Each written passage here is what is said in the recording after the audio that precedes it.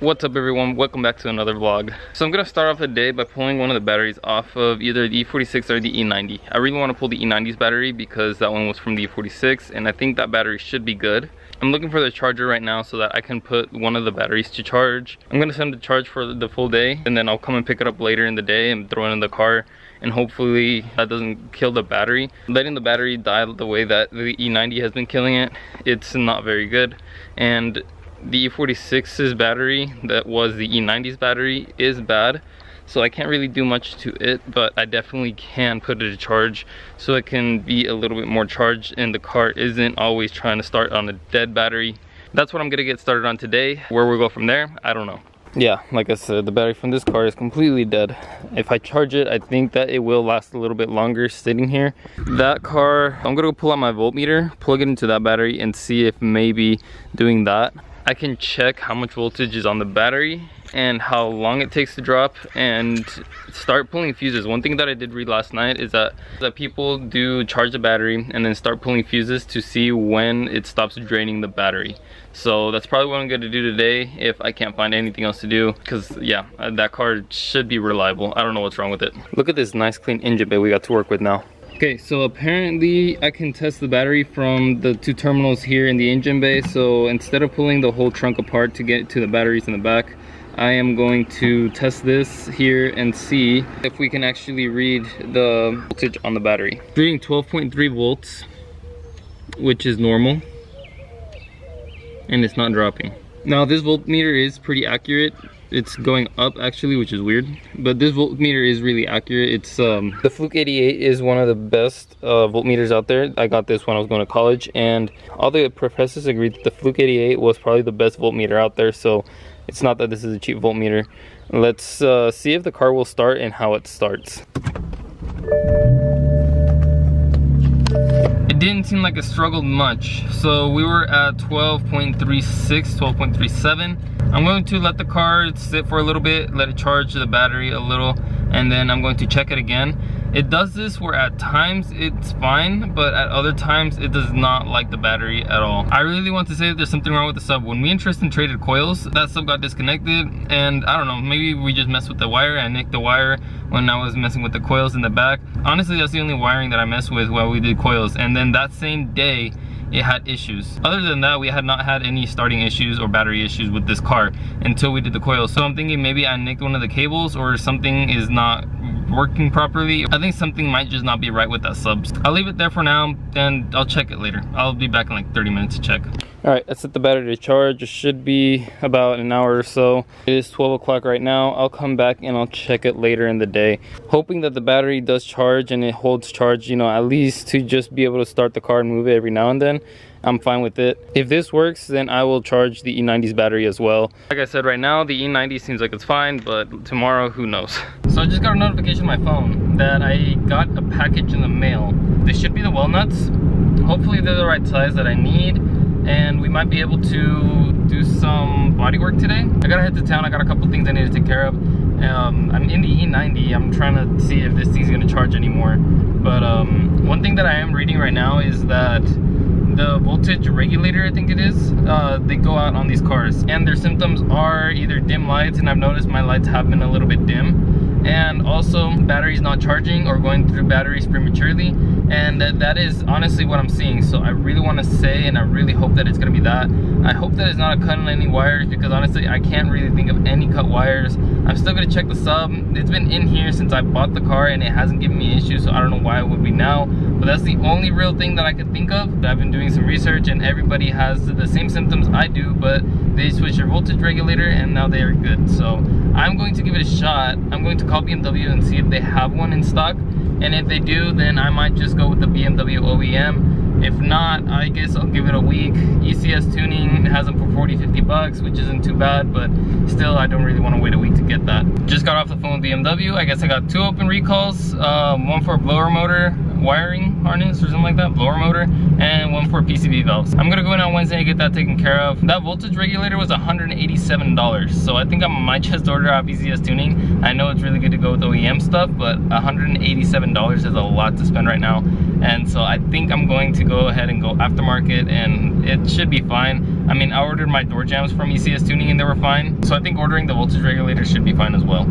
Okay guys, so it is a lot later in the day. This morning I got busy, so uh, I couldn't really do much, but I got something in the mail today. We got the well nuts I've been waiting for, and then this came in about a week ago. And it's for this. It's been like a month and a half, I'm not gonna lie. This is probably the first thing that I ever bought for this car. I think I had barely gotten it running, and I bought this wide body kit.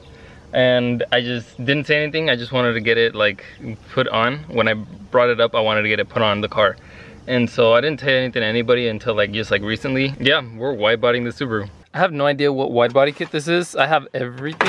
I have both front and rear fenders and then I have these little clips. They go either on the doors or the front bumper. I'm gonna go grab some tape. We'll mock it up. I don't think we're gonna get into drilling today because I don't know how long this is gonna take. We'll see how it looks mocked up. I haven't seen it mocked up on the car. I just kind of held it up against the car and looked at it.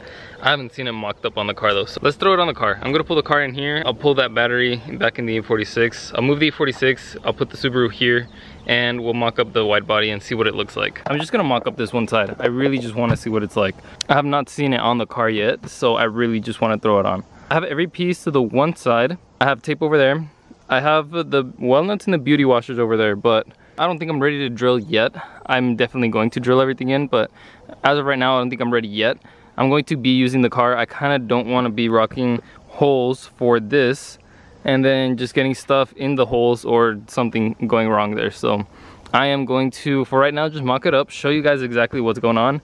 And in the next video, I think I will probably make a dedicated video to throwing everything on. This video has just been all over the place today, so I don't really want to drag the video out today, and I am trying to upload daily, like I said, so that gives me enough content for tomorrow as well, and just a good way to end today's video.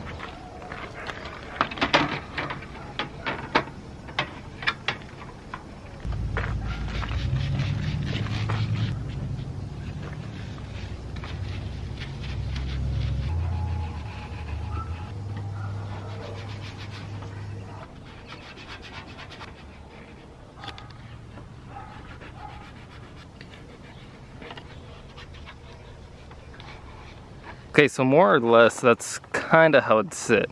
I'm definitely gonna have to pick up wheels because those definitely are not gonna work. We're definitely gonna get wider wheels for this setup because yeah, obviously this is not gonna work at all. That's one of the reasons why I kind of don't want to start drilling into this yet. Also, I did notice that I need the front, like the flare pieces off of the STI. I'm gonna need that little, it's like that fin that goes on the STI, the only the STIs have. I gotta order those because the front, let me show you guys. You can see the gap right there. So that fin sits in here and it has that little spike here. And it has the cutout for the spike and the cutout for the whole fin. That looks really aggressive though. The flares have been sitting inside of the E46. So they've been in the sun in like a heated area. So they are definitely not molded where they need to go. And like I said, I have the proper hardware to mount it on. Once I am ready to start cutting and drilling and everything, I have the hardware to start throwing everything on the way it's going to sit. Right now it looks really rough because it is uh, more or less how it's gonna go. It's kind of stretched right now. These taillights secured really well. It's time for a polish now. I can definitely polish them now. So when I get the chance, I'm definitely gonna polish these because you can see all of the orange peel. This might be something I start working on tomorrow. I ordered the flex pipe today for the downpipe and it's supposed to be here tomorrow, so we might do that first. But depending on how the day goes, we might actually get into drilling and fitting this thing properly tomorrow. Like I said, I am trying to start getting ready for paint. The car is coming along really well. This is one of the last things besides that side skirt that I said I need still. I need to order the side skirts and other than that, I don't really, can't really think of anything else that I'm really looking into doing exterior wise besides this. Everyone's been asking when I'm gonna get wheels. So now that you guys see the fender flares thrown on, you can see that this is going to sit a little bit further in, but even yet, that's a lot of gap. That's like a good like two and a half inches. So the reason why I haven't bought wheels yet is because I don't want to throw this body kit on and it be either too wide for the wheels or be too too narrow for the wheels. If it's too wide, I can always throw on spacers, but if it's too narrow, then that's where the issue is because that's gonna be the same issue as with the E90. The E90 had some really wide wheels in the rear and I could not fit them in the back unless I ran some, not aggressive, but pretty decent amount of camber those rear tires they really just they do rub and I did mess up the paint a little bit on the wheels. That's kind of my fault but I mean I don't think the paint was that good to start with. Either way not nothing really get into. It what's done is done so. Main reason why I wanted to run fender flares is because we have a huge crack right here and that is not patchable anymore. It looks like somebody tried to do a patch job themselves. There is foam in there. It looks like somebody tried to patch it like I said once and it did not stick. It started falling apart again. So it feels like this is good metal up here. I'm pretty sure this is going to sit more or less right there. So we can definitely drill into that right there and we will cover that more than definitely. As I'm looking at this, I'm thinking, why don't we just match the fender flares and the hood and the hood scoop to the rest of the car? Because the only things that don't match right now are the bumper the hood the hood scoop and the flares. I've been really tempted to throw this hood back on just because i like the all colored look the all one colored look. Yeah this hood does look better but one color is going to complement everything else a lot more there's a reason why I waited so long for these well nuts and that is because the way these are supposed to work is once you put the bolt in and you start tightening this actually gets compressed and it flares out. So it gets stuck behind the actual panel.